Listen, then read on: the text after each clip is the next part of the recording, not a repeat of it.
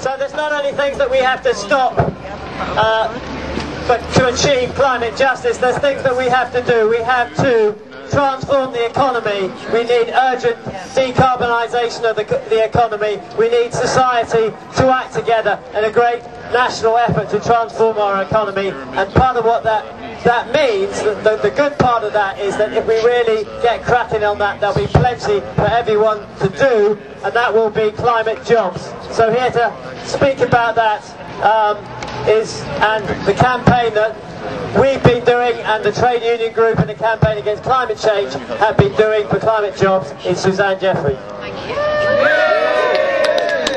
That's good. um, about just over a year ago, the Campaign Against Climate Change Trade Union Group republished um, a report that we'd written.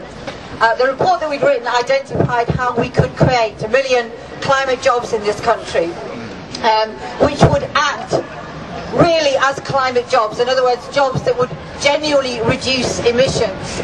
We identified that we could reduce emissions up to 80% by creating a million climate jobs. But we republished our report just over a year ago for one very simple reason. We renamed it. We renamed it Solving the Environmental and the Economic Crisis. And we did that because of the absolutely brutal economic crisis um, that, had broke, that had broken out. And I think uh, a number of people have already said that they see that environmental and economic crisis as being two sides of the same coin, and I think that's absolutely right. If you look at the economic crisis, it's absolutely clear that it's been a result of the bankers' greed and an absolutely unsustainable system that's built on the pursuit of profit for a minority, regardless of the implication for the rest of us and for the planet. And on top of that, thank you very much, on top of that, they have an unsustainable economic system that is also causing environmental uh, disaster. And what's their answer, what's their solution to this unsustainable system? It's absolutely more of the same. Their solution is that the rest of us should bail out their unsustainable system to the tune of trillions and trillions of pounds. We should bail it out, they tell us, through our pensions, through our welfare system, through austerity. And I think we saw earlier on this week when an historic event happened, when millions of public sector workers took to the streets in united strike action. It was a fantastic moment because that was a challenge not just to them saying we've got to bail out their unsustainable system with our pensions. It was also a challenge to the way that they're running the system. It was a challenge that says we will not stand by and tolerate a system that is lining the pockets of bankers whilst it ignores ordinary people, while it ignores our pensioners. And I think we should take heart from what happened earlier on this week because we're trying to argue that there is an alternative to that unsustainable system and there's an alternative in terms of the kind of jobs that we could create.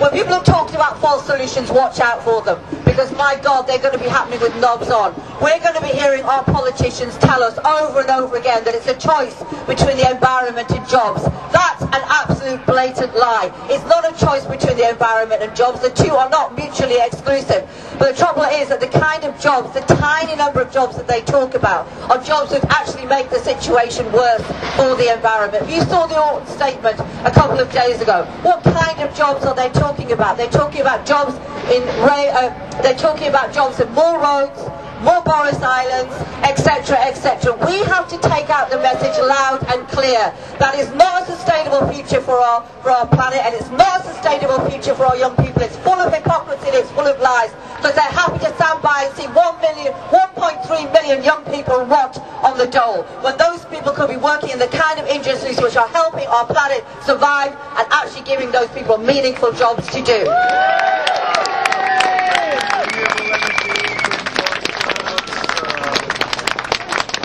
Let me just finish on, on this. I really do think that we have seen some significant events take place globally as people have stood up to the system, have stood up to the people that are wrecking our lives and wrecking our planet. We have to take hope from that. We have to take hope from the strikes, from the demonstrations, from the protests, and particularly actually from the strikes that took place. It is a historic moment. But David Cameron said it was a damn squid, again, what lies, what horrible lies and propaganda. I hope he rues the day that he said it was a damn squid. I hope he tosses and turns in his bed when he realizes what he has because what he has released is beginning to the solution to the problem which is ordinary people and the kind of alternatives that we can pose.